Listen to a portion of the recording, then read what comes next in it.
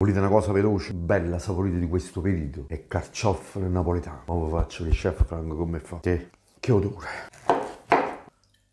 Un bello carciofo alla napoletana con olive nere, prezzemolo, io ci metto pure di apparire e l'aglio. Le foglie più dure le togliete, poco poche gambette le tagliate e lo pulite così. La parte più dura.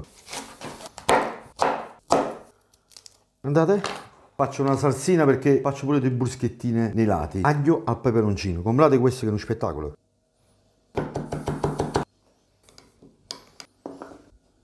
Bruschette, subito. Togliamo l'aglio.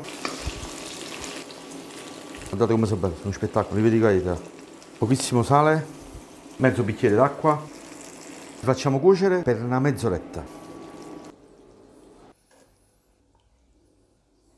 L'aggiunta delle bruschette che ho fatto io, fatelo con questa bruschetta. Buonissimo.